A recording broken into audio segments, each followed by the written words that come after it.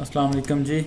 जैसा कि मैंने आपसे वादा किया था कि मैं आप लोगों के साथ troubleshooting skills send share करता रहूँगा। आज मैं आप लोगों के लिए लेके आया हूँ कि हमने बूटेबल विंडोज़ किस तरह बनानी है यूएसबी के थ्रू ठीक है? ये आप विंडो टेन के लिए बना सकते हैं और विंडो सेवन और विंडो एट के लिए।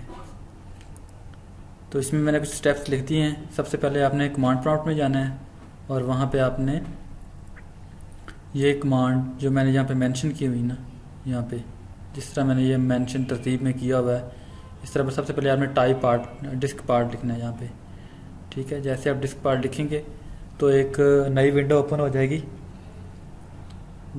डिस्क पार्ट ठीक है? तो ये आपको बेसिकली किस लिए होती है कि आपको एक लिस्ट लिस्ट शो कर देती है, जहाँ आप लिखेंगे लिस्ट डिस्क तो एक आपके पास जो लिस्ट है अब डिवाइसेस की वो शो हो जाएगी आपको। तो उसके बाद आपने आ, वो सिलेक्ट डिस्क करना है जिसमें आप अपने इंस्टॉल करना चाहते हैं विंडो जैसे कि यूएसबी मतलब।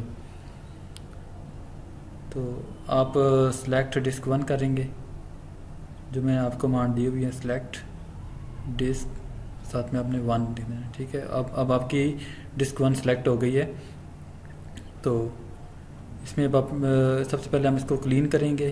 तो आप, इसके लिए सबसे पहले आप क्लीन टाइप करेंगे या सिंपल क्लीन लिख दें बस आप। तो इससे आपको सक्सेसफुल मैसेज आ गया कि आपकी डिस्क क्लीन हो गई है। इसके बाद आपने लिखना है कि क्रिएट पार्टीशन प्राइमरी ये मैंने टाइप इसलिए लिखा हुआ है ताकि आपको पता चले कि आपने टाइप करना है। क्रिएट पार्टीशन प्राइमरी तो ये आपकी प्राइमरी पार्टीशन बन गई है।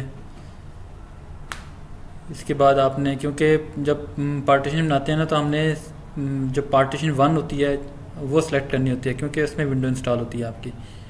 तो पार्टीशन वन सेलेक्ट कर लेनी है आपने। इसके बाद आपने क्या करना है कि इसको फॉर्मेट करना है thirty two fat fat thirty two system के थ्रू समटाइम ऐसा होता है कि आप अगर fat N T F S के थ्रू भी कर लेते हैं तो चल जाता है। लेकिन समटाइम यू एस पी इसको सपोर्ट नहीं करती।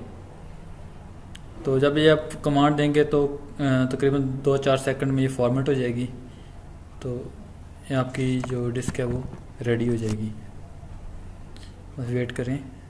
जी, ये सक्सेसफुल का मैसेज आ गया कि आपकी जो पार्टीशन है वो हो गई है। इसके बाद जी आपने इस जो पार्टीशन हमने बनाई थी प्राइमरी इसको एक्टिव कर लेना है एक्टिव कमांड से। अब ये पार्टीशन आपकी एक्टिव हो गई है। तो और अब अब आप एग्ज़िट कमांड से आप इसको एग्ज़िट कर जाएँगे। सिंपल जी, अब आपकी यू एस बूटेबल रेडी हो गई है। अब आपने सिंपल आगे वाली जो कमांड आपको आई एस फ़ाइल चाहिए होती है, वो आपने ये मैंने डाउनलोड की हुई है। तो ये मैंने डाउनलोड करके अब इसको ना विनरार के थ्रू आप एक्सट्रैक्ट कर लें। सिंपल और ये फाइल्स आपने कॉपी करके उस ड्राइव में डालनी है। इस तरह कॉपी नहीं होंगी। सबसे पहले हम इसको एक्सट्रैक्ट करना पड़ेगा एक फ़ोल्डर में इसको एक्सट्रैक्ट कर लें। अब ये टाइम लेगा तकरीबन पाँच, चार से पाँच मिनट आपको टाइम लेगा एक्सट्रैक्ट एक्सट्रैक्ट करने में। अब ये एक्सट्रैक्ट हो गया फोल्डर आपका। जहाँ सिंपल आपने कॉपी करना है इसको। और अपने यू ड्राइव में जाके सिंपल हाँ जी यू ड्राइव में जाके इसको पेस्ट कर देना है। और ये भी तकरीबन चार से पाँच मिनट का काम है। ये पेस्ट हो जाएगा। जैसे ये पेस्ट हो जाएगा, आपकी विंडो यू है, वो रेडी हो जाएगी इंस्टॉलेशन के लिए। तो जिस तरह हम नॉर्मल यू डिस्क डाल के विंडो करते हैं, इसी तरह आपने यू कंप्यूटर को रिस्टार्ट करना है और अपने यू प्लग इन करनी है और इंस्टॉल कर सकते हैं विंडो वेरी सिंपल जी, आप इंजॉय करें।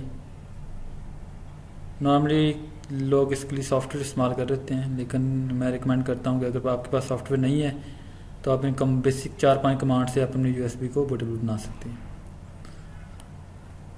Thank you